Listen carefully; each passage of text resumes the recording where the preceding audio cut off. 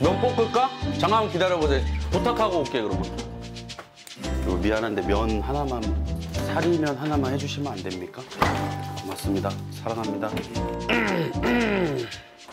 어우, 식은땀 났어 지금. 세상 모든 안주를 리뷰하는 애주가 TV 참PD입니다. 반갑습니다. 안녕하세요. 자 오늘은 말이죠. 저번에 제가 만든 야매 마라롱샤 그게 조회수가 30만 view를 기록했습니다. 그래가지고 앵콜 기념으로 마라 전복을 준비했는데요. 저번에 마라롱샤 만들고 남았던 요 소스 하나 준비했고요. 요 전복은 활 전복이에요. 야! 네이버에서 500g에 8천 얼마에 구매했어요. 여러분들 라면에 넣는 동전 전복입니다. 부가적인 해산물은 제가 리뷰하려고 했다가 뭘 해야 될지 기억이 안 나가지고 여기다가 같이 한번 볶아버리는 걸로 진행을 하도록 하겠습니다. 조리 방법은 아시겠지만 야매입니다. 그냥 해먹는 거예요. 바로 시작하도록 하겠습니다.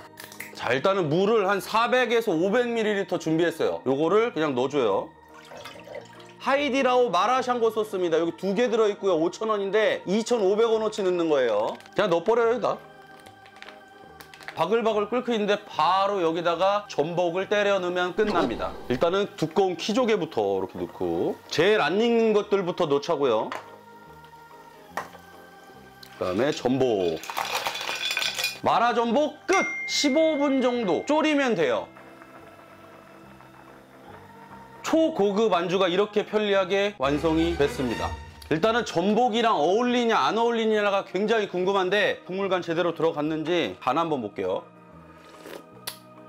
음, 딱 좋아. 짭짤해가지고 요 찍어 먹었을 때 가장 좋은 소스 같은 그런 느낌의 간이에요. 마라롱샤 때와 다른 점이 뭐냐면 국물 맛이 변했습니다. 조개에서 나오는 그 육수 때문에 감칠맛이 거의 두 배가 됐다 그래야 될까요? 그런 느낌이에요. 전복 한번 먹어볼게요. 과연 여기 들어간 전복이 맛있을지 소스에 듬뿍 찍어가지고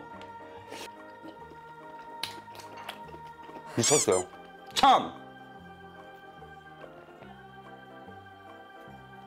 아, 새끼 전복이잖아요. 그래갖고 살이 굉장히 부드럽고 내장 원래 비린 거 아시죠? 전복 내장 다 드셔보셨죠? 그 정도의 비림입니다. 그리고 마라샹궈 소스랑 전복이랑 같이 먹으니까 뭐 따로 소스가 필요 없어요. 그냥 바로 밥도둑 술안주. 와. 음. 식감 장난 아니에요. 자, 이렇게 피조개가 마라샹궈 소스에 이렇게 통으로 한번 먹어볼게요.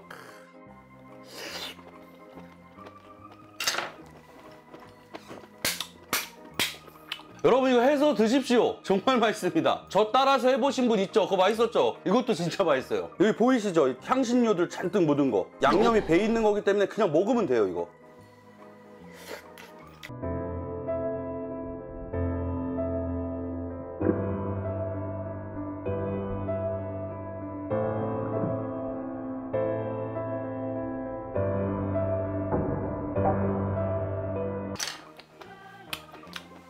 껍질에다가 국물 살짝 넣어가지고 마시듯이.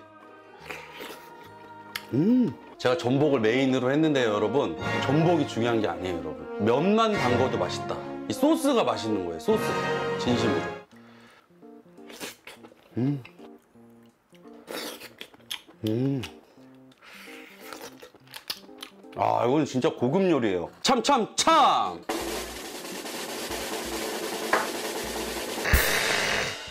자 마라 전복 먹어봤는데요. 무조건 맛있습니다. 이 마라 소스랑 뭘 담가 먹어도 다 맛있다. 이렇게 말씀드릴 수 있겠고 꼬마 전복 8,000 얼마에 소스 2,500원 딱 넣어가지고 만 원 초반대 이런 느낌을 먹는다? 구매각이죠. 이 정도면 구매각이라고 생각됩니다. 근데 이 소스 자체가 뭘로도 맛있다. 이걸로 닭도리탕 해 먹어도 맛있고 떡볶이 만들어 먹어도 맛있고 이 마라 소스를 좋아하시는 분이라면 한 번쯤은 해보셔도 될 만한 요리였습니다. 지금까지 애주가TV 참PD였고요. 이 영상이 마음에 드시면 눌렀죠? 부탁드리고요. 그럼 다음 시간에 봐요. 안녕. 녹화는 여기까지.